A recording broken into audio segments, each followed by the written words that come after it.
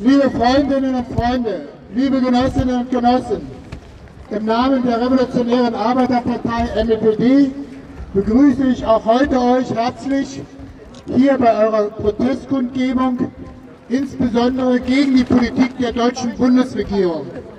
Wie die Vorrednerin schon gesagt hat, ist heute in den deutschen Medien bekannt geworden, dass entgegen den Behauptungen des früheren Außenministers Gabriel die Rüstungsexporte in die Türkei nicht nur nicht gestoppt worden sind, sie sind seit Beginn des Krieges und der Aggression der Türkei in Afrin sogar gesteigert worden. Dies erregt auch die deutsche Öffentlichkeit, die in Mehrheit kritisch gegen die Politik Erdogans entsprechend eingestellt ist. Es ist schlichtweg ein Skandal, ja, dass Deutschland und diese Regierung entsprechend noch mehr Waffen liefert, nicht Raketen, Transport, LKWs und so weiter.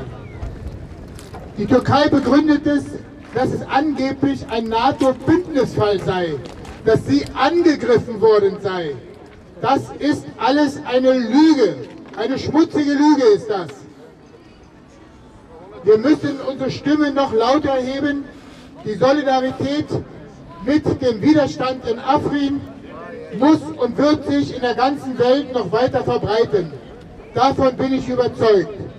Heute hat der Sprecher von Erdogan zudem erklärt, dass sie keineswegs die Absicht haben, die eroberten Gebiete in Nordsyrien wieder an die syrische Regierung zurückzugeben, sondern dies sich der Türkei entsprechend einverleiben zu wollen.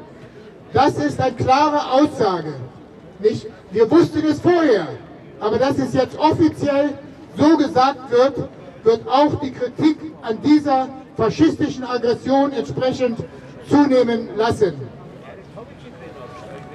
Die ICA und der Internationale Bund der Völker, ILPS, hat beschlossen, am Nevros-Tag am 21. März auf der ganzen Welt einen Weltaktionstag Afrin, Afrin wird leben zu organisieren.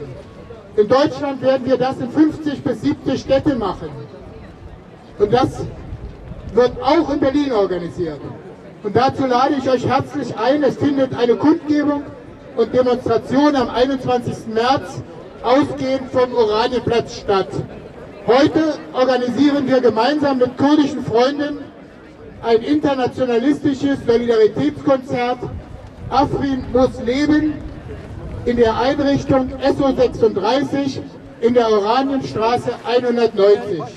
Also, es kommt auch das kurdische Fernsehen und es ist ein internationalistisches Programm mit Sängern und Musikgruppen nicht nur kurdischer Art, sondern auch palästinensische Freunde von afghanischen Musikern und auch eine deutsche Musikgruppe.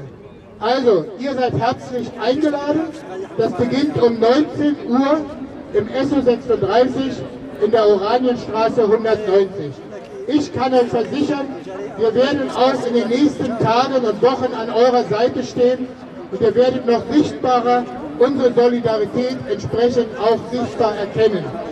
In diesem Sinne möchte ich sagen, ich grüße euch nochmals, hoch die internationale Solidarität.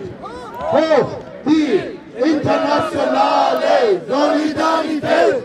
Hoch die internationale Solidarität!